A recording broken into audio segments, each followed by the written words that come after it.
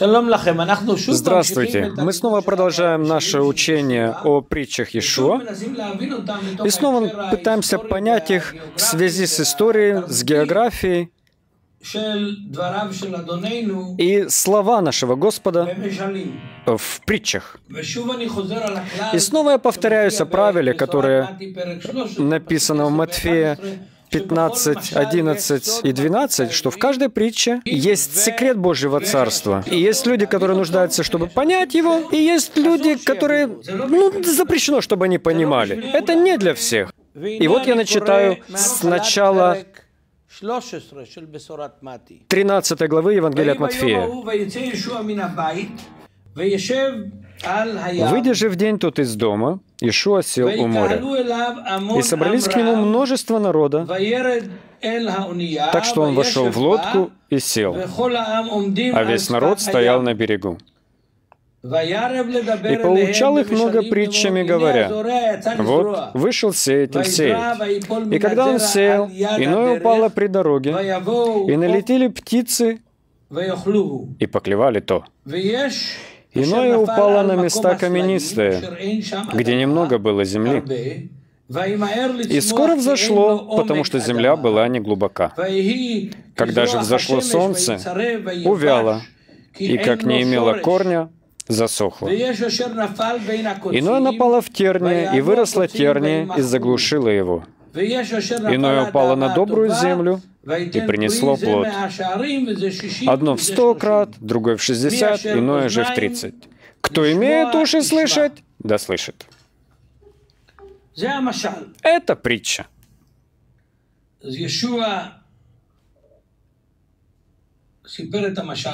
Иешуа прочитал эту. И когда он сидел на...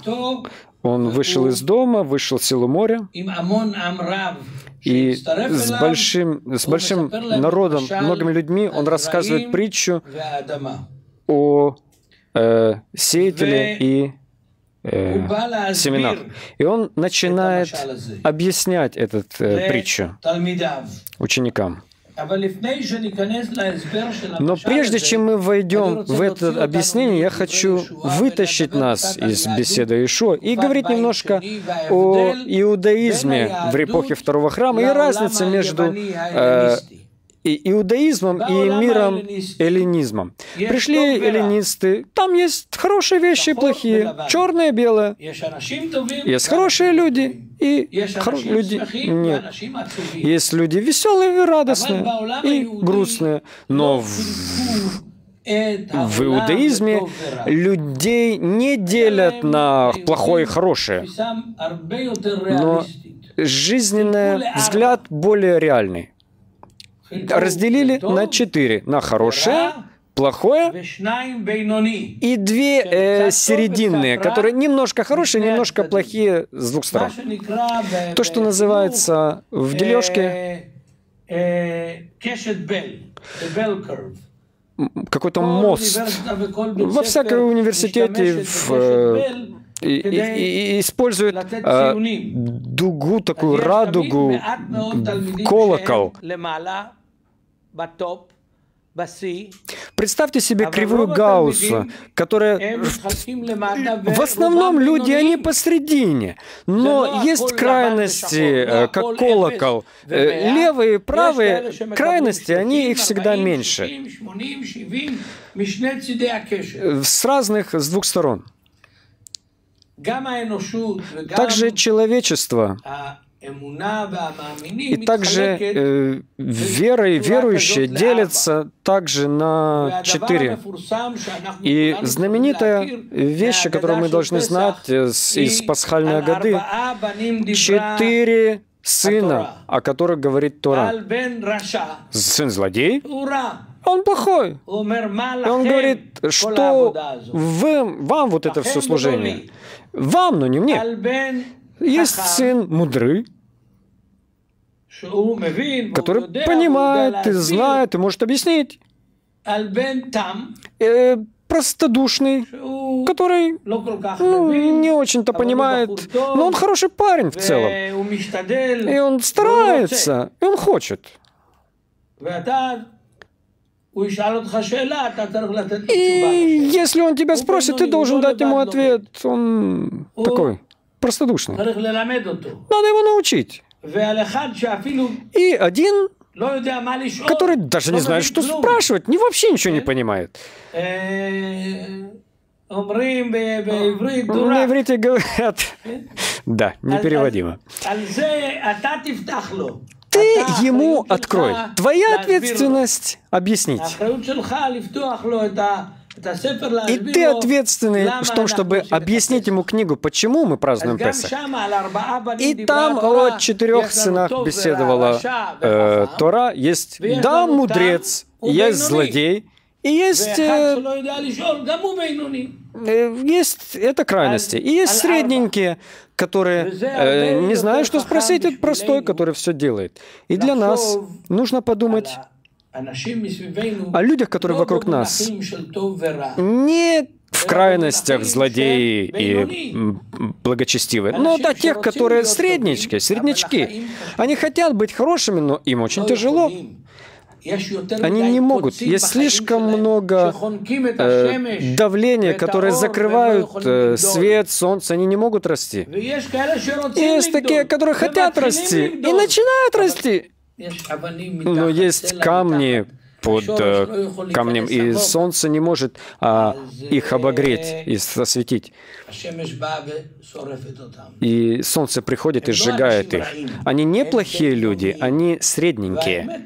И истина в том, что большинство из нас середнячки. Большинство людей в наших общинах – это середнячки.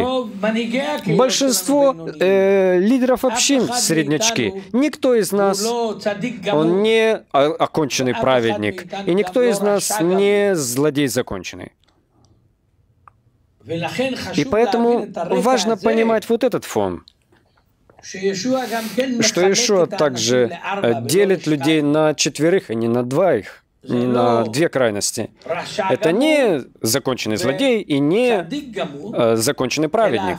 Но между праведниками, те, которые на хорошей почве, есть те, которые дают 100 э, плодов, есть 60, есть 30, и все на той же самой хорошей почве. И когда мы думаем о Небесном Царстве, мы должны думать об э, вот этих пропорциях. Если мы требуем от всех быть э, законченными праведниками, они не будут. Если мы хотим думать, что праведники, они такие стопроцентные, это тоже не всегда встретите. Это очень э, потрясает, что кто-то дает сто процентов. Но также 30 процентов это тоже хорошо. 60% это неплохо. Но и вторая сторона злодей. Мы не можем думать, что злодей, он оконченный злодей. Даже среди злодеев можно понять обстоятельства. Не оправдывать эти обстоятельства, но понимать эти обстоятельства. И вот Иешуа дает эту притчу о сеятеле, который хочет посеять. И когда он сеет, он не был швейцарцем. Если бы сеял швейцарец, он бы взял каждое семечко, делал дырку в хорошей земле и вставлял бы туда зернышко, и не ходил бы и рассыпал направо и налево. И так бы он не мог бы завершить ни одного гектара, у него было недостаточно еды кушать, если бы он был швейцарцем. Он должен был э, заниматься э, бизнесом в банках, чтобы добавлять. И мы здесь, на Ближнем Востоке, мы здесь, у нас есть большая щетка, грабли. Мы не сеем одно семечко каждое отдельно, но мы достаем горсть из э, мешка и щедро рассыпаем туда, куда семя упадет. Это более мудро чем то, что работать э, как швейцарцы, каждый в свое точное место. Но мы должны рассчитывать, что в Небесном Царстве семя может упасть на хорошую землю, но, может быть, также может быть на, э, среди сорняков, что не может на каменистую почву, где не может пустить корни. И даже тропинка, который э, утрамбован и не может сильно глубоко зайти, придут птицы, придет враг и съест семя. Он не вырастет вообще. Да? Когда я думаю об этой притче в э, связи с Небесным Царством, что Ишуа пытается нам сказать? О ком он говорит? Говорит ли он о семени? Говорит ли он о почве? Или он говорит о сеятеле? И мне кажется, эта притча о сеятеле, а не о почве. Это ясное дело, что если ты идешь сеять возле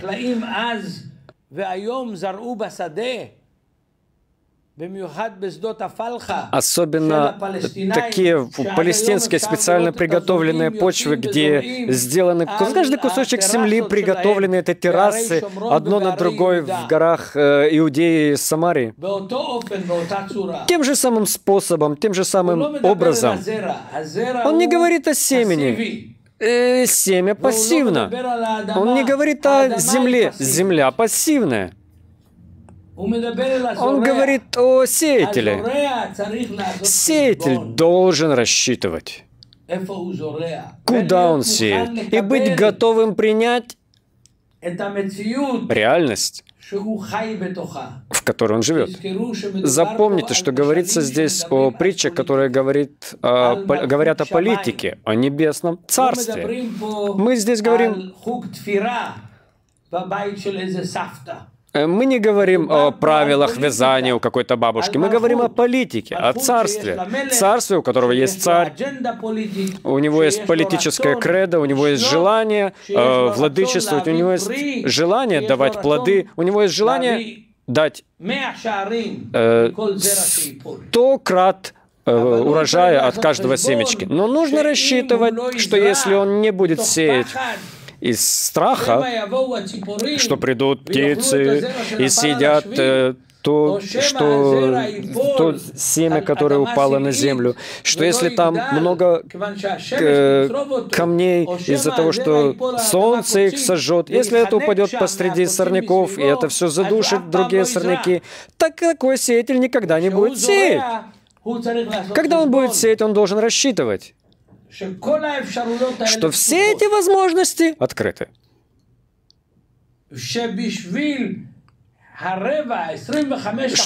Ради четверти, 25%, которые упадут на хорошую почву и дадут кто-то 30, кто-то 60, кто 100 в раз, стоит сеять. И стоит взять риск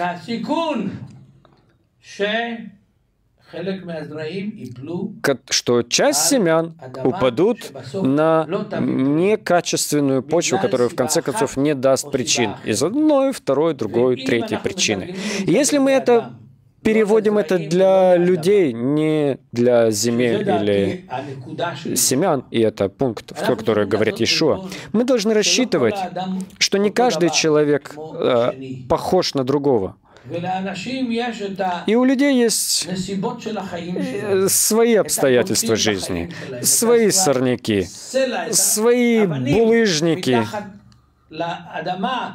под поверхностью, которых не видно из, извне. Но человек, который старается рас, расти среди этих булыжников,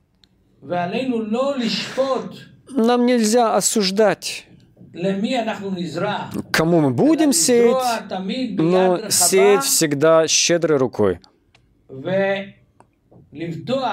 И обещать тем, что тот, кто будет расти, часть упадет на хорошую почву, и часть даст сотню процентов, 30 и 60, и тот, кто придет, добро пожаловать, чтобы Бог благословил нас в, в учении, в словах Иешуа Мессии. Дорогие друзья, шалом! Мы рады приветствовать вас на нашем веб-сайте Оазис Медиа. В 2013 году в январе мы запустили этот проект, и наше желание было выставлять максимальное количество мессианских видеоматериалов, чтобы интересующиеся могли понять, рассмотреть и выучить какие-то аспекты Библии с еврейской позиции. Уверен, что это помогает вам у вашей вере, чтобы становиться и возрастать и понимать Писание намного больше.